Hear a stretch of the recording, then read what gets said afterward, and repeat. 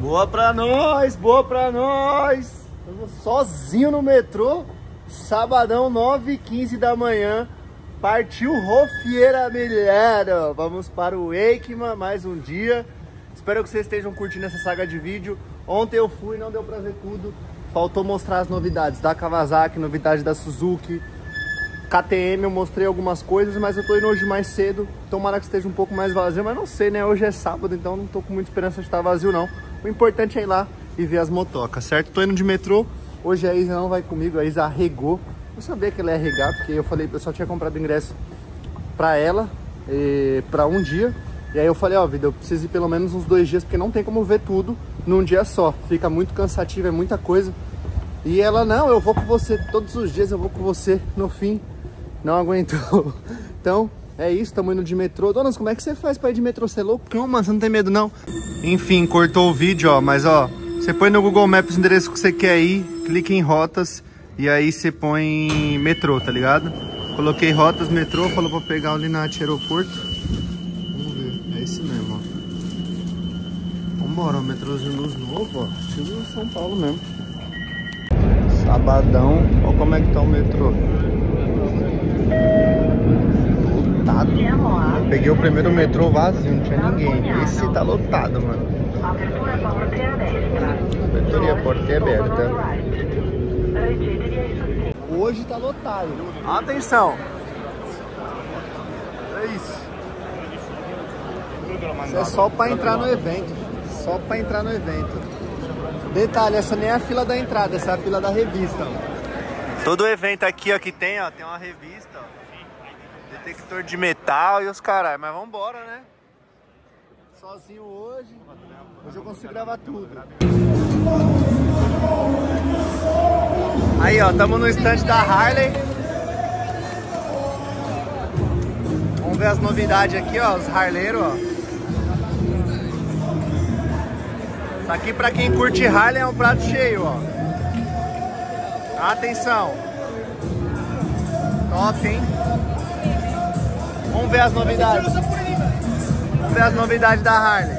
Vambora.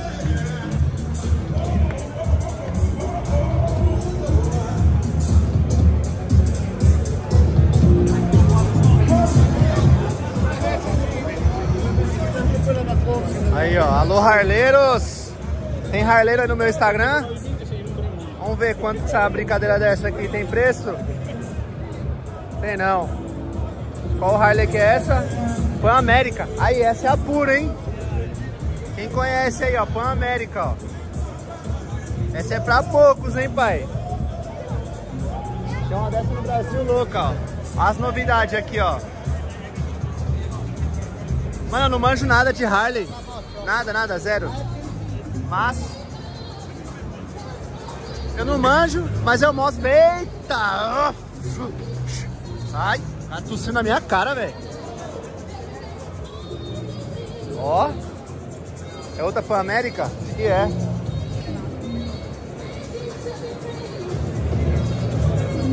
Ela mesmo, ó. Outra Pan América. Ela tá lotado já o da Harley. É, Fefio. Aí o... Aqui o pai chora demais, mano. Tá louco. É a Hornet 1000. Eu vou lançar essa... Mano, eu vou lançar essa bodega, filho. Eu vou lançar essa bodega, eu não quero saber de nada. Já vou meter uns, um diretão do tiozão. Um atala. Alô, tio. Tô chegando, hein?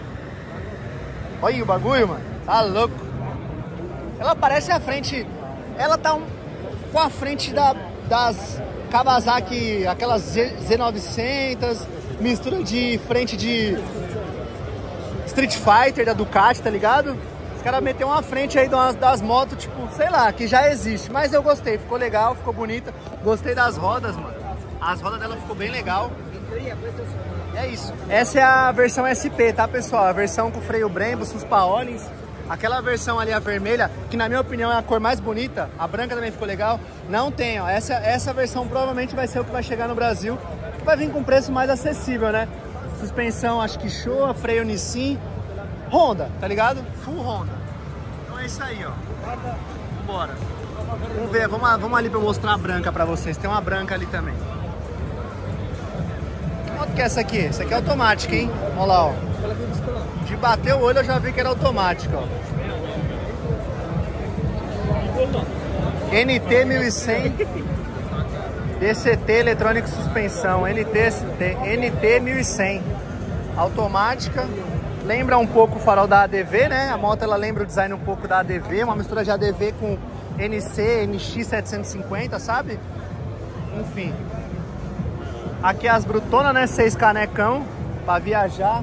A moto é essa.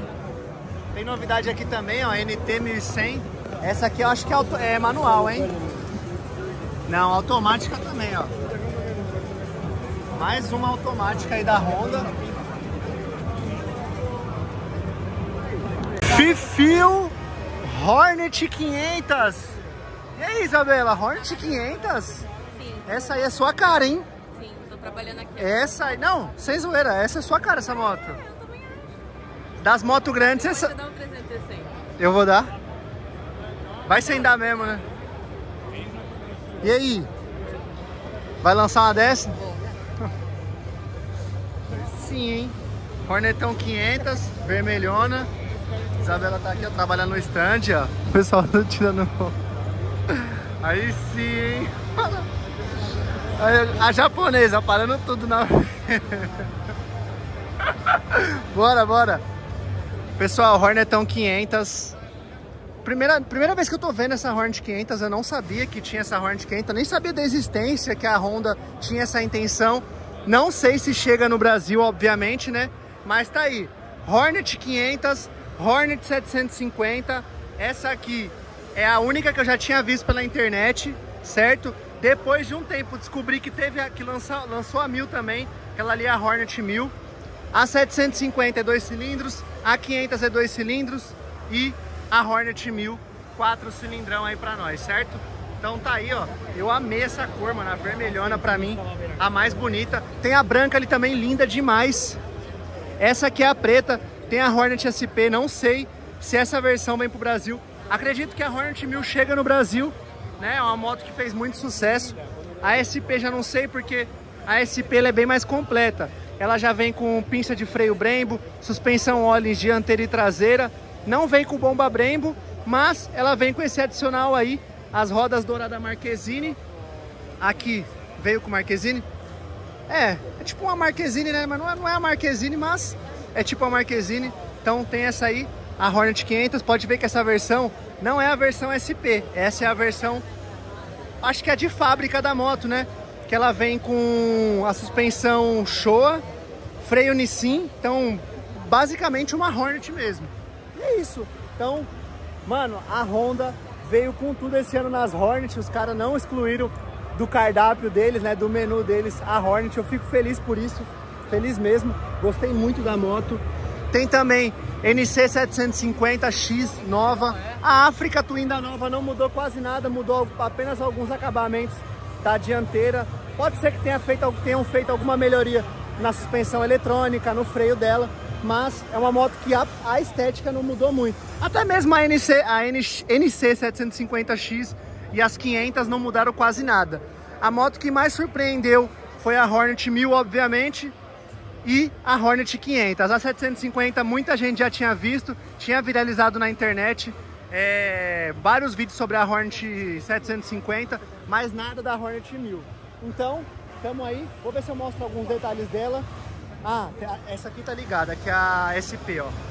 Dá uma atençãozinha, ó. Eu gravei uns detalhes da moto, como a rabeta, o farol, gravei tudo. Mas tem coisa que é só andando na moto, né?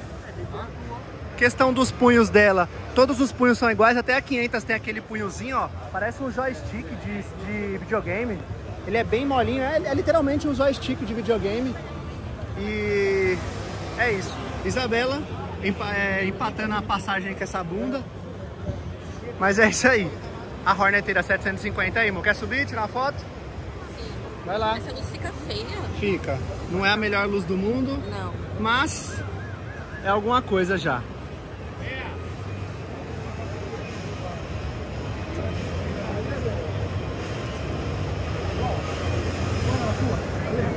Olha lá. A Isabella acendendo a moto. perché nel 2021 abbiamo cambiato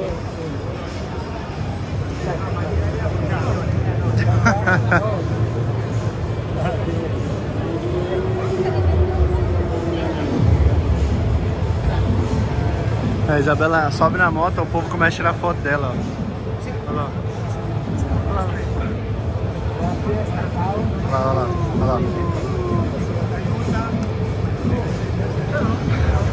A menina é modelo, hein? Você aproveita, né? Menina é modelo, hein? ah, Isabela, Isabela. É isso, vamos ali para mostrar a África, a África, só para o pessoal ver a diferença. E aí zeramos por aqui. Eu vou deixar toda, todos os estantes que eu for passando, eu vou deixar um trailerzinho bonitinho, a CRF da nova. Eu vou deixar um trailerzinho mostrando cada uma.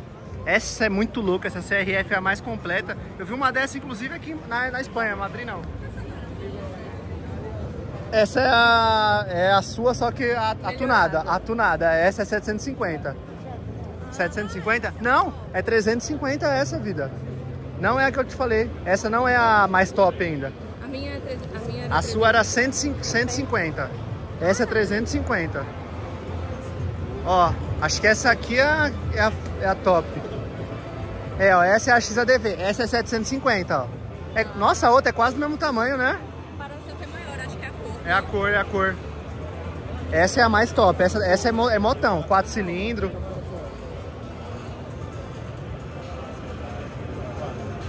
É, 4 cilindros. 4 cilindros? Não. 4 litros de óleo. Tô, tô na dúvida se ela é 4 cilindros ou se ela é 2 cilindros.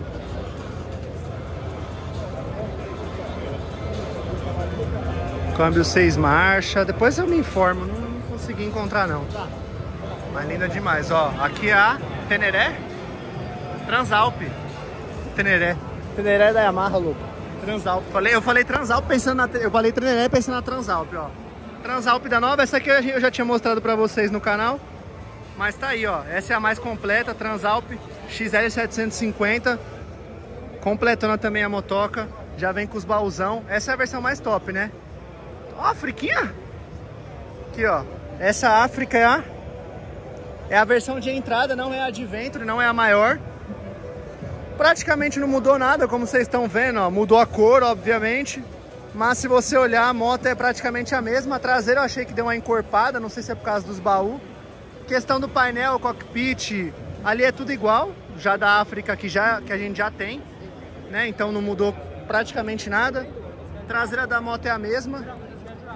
Vou ver se eu acho aqui uma Adventure, só para vocês verem a diferença. Mas ó, essa, tanto essa quanto a Adventure muda essa, muda essa carenagem daqui, ó. O farol é o mesmo. Se não for exatamente igual, é, a diferença é mínima, a gente nem consegue identificar a diferença de uma para outra. Aqui tem a CBR 650R, né? Que já tem no Brasil essa moto, só que não esse ano, né? Que essa é a 2025. 10 mil reais aí, 10 mil reais, 10 mil euros. Mais uma aqui, ó, só que dessa vez da cor preta. Agora aqui é sonho do pai, né? CBR 600RR, Fifio. Essa é a pura, meus parceiros. Se Deus quiser, a Isabela ainda vai me dar uma dessa, né, amor? Pra quem acompanhou a minha saga de vídeo, a Isabela me deu uma CBR 600 cara de Camaro 2015. E agora, se Deus quiser, se essa moto vier pro Brasil, vai ser minha nova CBR 600RR. Acredito que ela não vai vir tão cara. Vou até explicar agora o motivo do porquê essa moto aqui vir tão cara pro Brasil. No Brasil essa moto veio de tabela custando 173 mil reais mais ou menos, a versão de entrada dela. Não tem uma versão mais básica, por quê? No Brasil só chegou a CBR 1000, a mais top, que é suspensão Ollis, freio Brembo, bomba Brembo, a mais top de todas. Já essa aqui, ó, quer ver, ó? Essa é a Carbon, ó. Essa preta é a Carbon, que é a mais top. Eu nem sabia que tinha, ó, 30 mil euros a- o valor de entrada dela da Carbon. E tem a SP, que ela não é Carbon, mas ela é uma versão especial porque ela tem a suspensão Ollis. Ali atrás tem uma CBR 1000, que ela é a versão básica dela, que seria para a que de fato se comercializa no Brasil, para vir com preço mais competitivo. Então a suspe é freio Nissin, tá vendo? Deixa eu ver se ela é, ela é, é a 1000, tá vendo, ó? Freio Nissin, é, suspensão Showa, ela não vem com pneu chiclete, tá vendo? Ela é uma moto que ela veio mais é, para competir questão de preço. Vamos até ver ó, o preço de entrada dela. Ó. A Carbon tá 31 mil euros. Essa aqui, ó, 23 mil euros. Mano, são 8 mil euros mais barato do que a, a Carbon, por exemplo. Então, para vocês verem, essa moto aqui, ó, no Brasil, ela, ela viria para competir com a S1000, tá ligado? Porque a CBR 1000 Triple R, ela, ela oferece muito mais do que a S1000. Questão de suspensão, questão de bomba de freio, por aí vai. Então, essa aqui seria a moto de entrada para ir para o Brasil com um preço mais competitivo. Espero que chegue no Brasil, né? Para competir com as S1000, não sei se tá boa de grau. Essa versão aqui da antiga, igual a minha 2021, pro grau ela não é boa, com a moto mais longa, mas pra pista ela ficou excelente. Não sei a nova, né? Vamos ver só pegando e andando pra gente saber. Então, estamos aqui no stand da Honda. Já comenta aí o que, que você quer ver, que eu vou voltar aqui ainda amanhã. E aí, quando, quando você estiver vendo esse vídeo hoje, com o seu comentário, eu vou atrás da moto que você quer ver, as motos que mais te chamaram a atenção. Comenta aí que eu gravo algum detalhe. Se faltou alguma coisa, perguntem aí nos comentários que amanhã eu tô aqui de novo. Essa é a maior feira de motos do mundo. Maior feira de moto do mundo. Então, aqui tem coisa boa pra vocês, mano. Essa CBR 600 aqui, mano, é o meu xodó, velho. Esse escape embaixo do banco não tem nada igual no mundo. Pra mim, é o charme da moto, é o escape embaixo do banco, velho. É muito linda, velho, muito linda. E aí, né, vida, ó, você já tá até com a roupa combinando, ó. É só chegar lá, ó. Pode ser a preta. Pode ser qualquer cor dela, nem ligo. Qual que você gostou mais, a preta ou a vermelha? A preta. A preta? É. Você gosta de preto, né? Moto preta, né? Também gosto. Mas é porque eu sou mulher, aí eu penso besteira Na roupa? na roupa. Tipo assim, ah, é mais fácil combinar com a minha roupa? Ah, mano.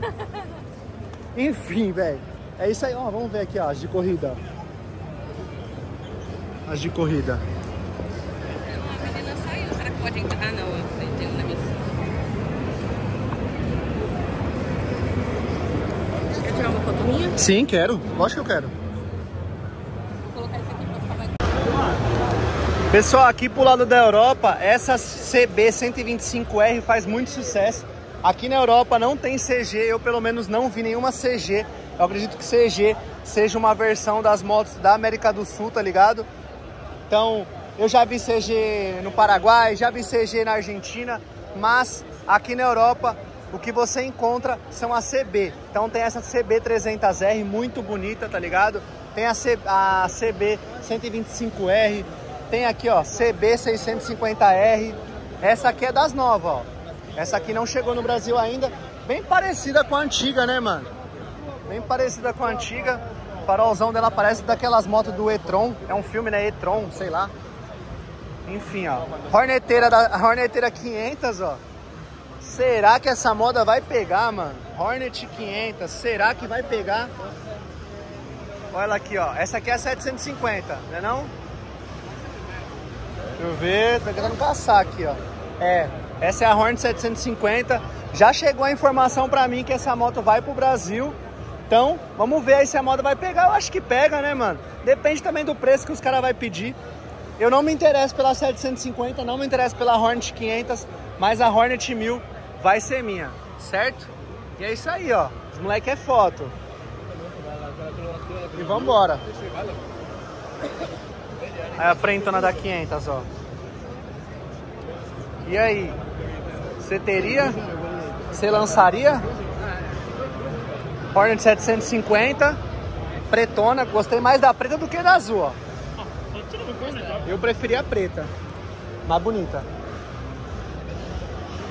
Quentinha preta, ó. Bonita a moto, meu. Bonita. Pequenininha, tá ligado? Provavelmente. Provavelmente a ciclística dela vai ser boa, tá ligado? Isso, ó. Bonita a frente dela. Eu gostei, mano. Eu gostei, rapaziada. Eu gostei. Tudo é questão de costume. Eu sei que muita gente, muita gente às vezes pega, olha, pô, uma Hornet 500, ai, uma Hornet 750. Ai, não, eu prefiro a antiga. Mas, pessoal, tudo que é novo assusta. Eu lembro como se fosse ontem, quando existia a Hornet carburada e aí lançaram a Hornet da bunda caída. Que é a... É, a Hornet da bunda caída, que foi a 2008. Muita, não, nada a ver, a Hornet carburada é muito mais bonita. No fim, hoje em dia, a Hornet da bunda caída, na minha opinião, é a mais bonita, de preferência a vinho, que é uma cor extremamente exclusiva. Então tá aí, ó. Vamos ali mostrar a Hornet 1000. Aí, ó. Ô, perdona. Horneteira mil aí, ó. Certo? Essa é louca, hein, mano. Vou pedir pra alguém tirar uma foto minha aqui em cima dela. Que é linda demais, mano. Afe Maria, linda demais.